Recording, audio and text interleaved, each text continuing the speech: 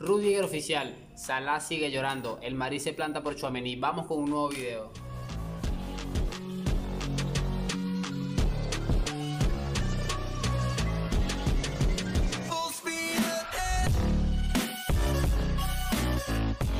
¿Y qué pasa mis muchachos? Bienvenidos nuevamente a este su pequeño espacio para madridistas. Como ya ustedes lo saben, aquí comentamos información del 14 veces campeón de Europa. Qué lindo suena eso, 14 veces campeón de Europa que le sacamos el doble al Milan.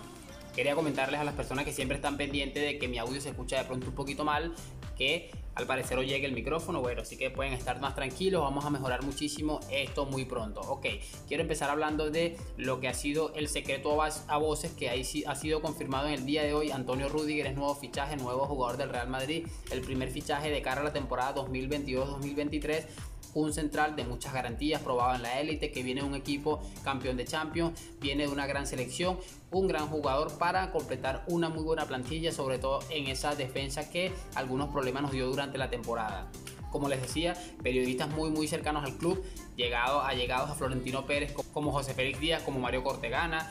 La mayoría de esos periodistas que están muy cerca de lo que es el entorno Real Madrid lo daban por cerrado, con la diferencia en el caso comparándolo con el, con el de Mbappé, que nada tiene que ver, por lo que significa un jugador y otro, lo daban por cerrado, pero que este sí el contrato sí estaba firmado. En cambio, el de Mbappé no estaba firmado. Al parecer ya Rudiger había firmado su contrato hace un par de meses.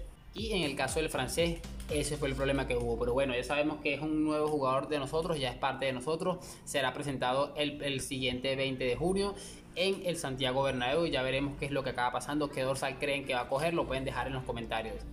De todos modos, mañana, si no es mañana es pasado, vamos a estar haciendo un video de configuración o confección de la plantilla o cómo crees que va a quedar la plantilla del Real Madrid con esta nueva incorporación que para mí es muy importante, sumamente importante sumar un defensa de garantías. Y ojo con lo que puede pasar con Mendy porque como ya sabemos tiene varios meses pujando para una renovación de contrato que no creo que el club quiera darle por muchísimas cosas, sobre todo porque tiene un contrato todavía de aproximadamente tres temporadas. Así que bueno, ya mañana hablaremos de eso muy a fondo. Lo cierto es que es eso, oficializado lo que era un secreto a voces y el Real Madrid tiene su nuevo fichaje para la temporada que viene.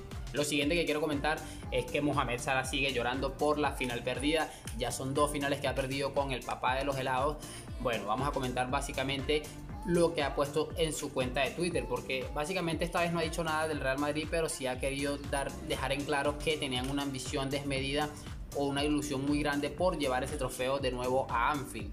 Bien, aquí hay varias cosas que comentar porque en esta vez no ha dicho absolutamente nada del Real Madrid, aunque dijo que daría todos los premios individuales y todo lo que ha tenido en su carrera por volver a jugar esa final. A mí Salah me parece un magnífico jugador, pero un pésimo perdedor, un jugador que ha perdido los estribos, un jugador que sencillamente no sabe diferenciar lo que es una derrota con lo que es un éxito y que espero que le sirva esto de precedente para saber que no puedes hablar del rival días antes o meses antes de poder disputar un partido como una final de Champions. Es sumamente importante el respeto al rival y eh, Salah no le faltó el respeto al Real Madrid, pero las declaraciones estuvieron un poco fuera de lugar y yo creo que esa es una ley del fútbol. Si hablas del rival seguramente vayas a perder.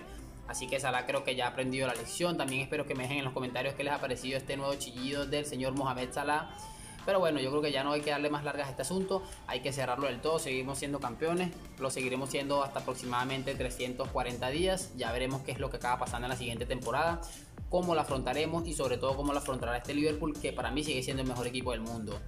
Y bueno chicos, quería cerrar este video con una información que ha dejado esta mañana José Félix Díaz en el diario Marca, donde básicamente decía que el Madrid se plantaba por Suamení que en ningún caso el Real Madrid va a subir la oferta de los 60 millones que está ofreciendo por el mediocampista francés Aurelien Chouameni. Sabemos que el Mónaco está pidiendo en torno a 80 millones con las variables, con el bonus, etcétera. Estaba pidiendo alrededor de 80 millones. Al parecer el Real Madrid no está dispuesto a pagar más de 60 millones por este futbolista. Y agrega también que incluso a pesar de que haya entrado en la puja el Paris Saint Germain por supuestas órdenes de Mbappé, eso es lo que se ha filtrado, el Real Madrid se ha plantado y no piensa subir su oferta de más de 60 millones. Particularmente a mí me parece un poco exagerado la cifra de 80 millones, creo que en torno a 60 millones está bastante adecuado lo que significa el jugador, pero yo creo que esto es más que un fichaje a nivel deportivo, esto es un fichaje a nivel psicológico, un fichaje a nivel de estado, a nivel de poderío, de fortaleza, absolutamente todo, y me explico si el Real Madrid no termina haciendo este fichaje y lo termina haciendo el Paris Saint Germain va a ser otro duro golpe como la no contratación de Mbappé. Es decir, sabemos que hay grandes clubes detrás de este jugador que va a ser, promete ser un jugador muy muy élite en las próximas 10 temporadas. Creo que el Real Madrid tiene que seguir demostrando esa capacidad de atracción a los jugadores, porque ya vimos esta mañana que Rudiger ha publicado que está como loco por vestir esta camiseta y por calzarse los nuevos retos que conllevan cargar este escudo en el lado izquierdo del pecho.